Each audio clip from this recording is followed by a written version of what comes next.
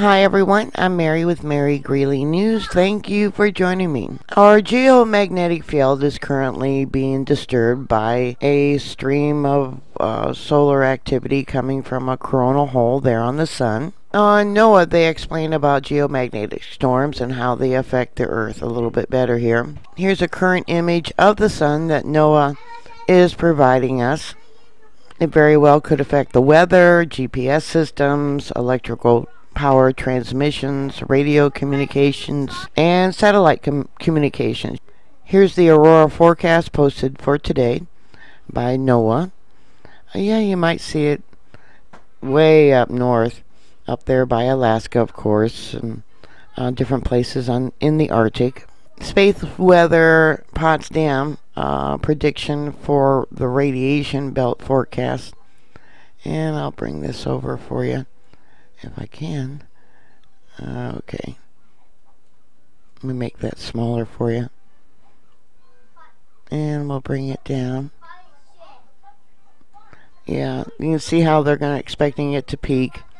Yeah, more radiation coming into the Earth's atmosphere. The uh, Earth's magnetic field is pretty weak right now. And we need that to protect us from things such as what's going on. Um, Currently, there's no sunspots um, Earth facing. This here is provided by Solar Ham. Yeah, you can see there's no sunspots. Um, yeah, good thing if because of the Earth's magnetic field being weakened like it is. If there was a solar flare, Earth facing, yeah, it could be devastating for the Earth. Here's another current image of the sun provided by SOHO, NASA, and another image provided by NASA. A few days ago, this is the coronal hole that was Earth facing. Uh, the reason we're now being hit by these particles from the sun. The aurora impact is being updated every few minutes.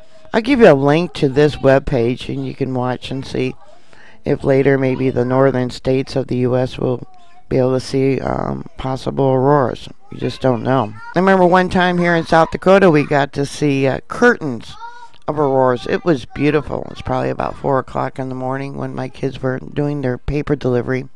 Yeah, it was a while ago before they had cell phones. If I had a cell phone back then, or if cell phones were available, I would have photographed it. It was absolutely beautiful.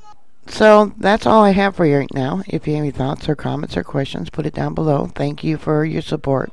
I'm on Patreon. I'm also on BitChute, but BitChute only allows me to upload three videos a day. Um, Patreon allows me to put all the videos on there if you want to subscribe to that. And I also have a PayPal account. Thank you again. Happy holidays. Merry Christmas. And I hope we have all um, a very happy and prosperous new year. But the way things are going, I don't know. And I'll talk to you later. God bless you. Bye.